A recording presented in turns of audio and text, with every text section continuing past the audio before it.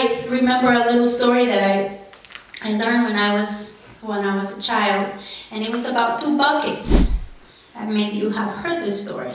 So two buckets that a person carried every day to the river and back.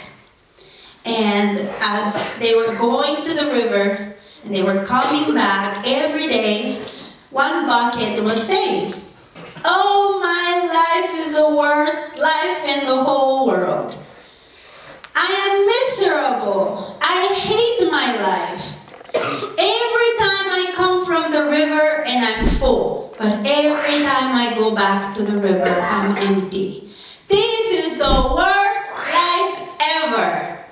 But the other bucket said, wow, I have the most amazing life ever. I always go to the river empty and I always come back full.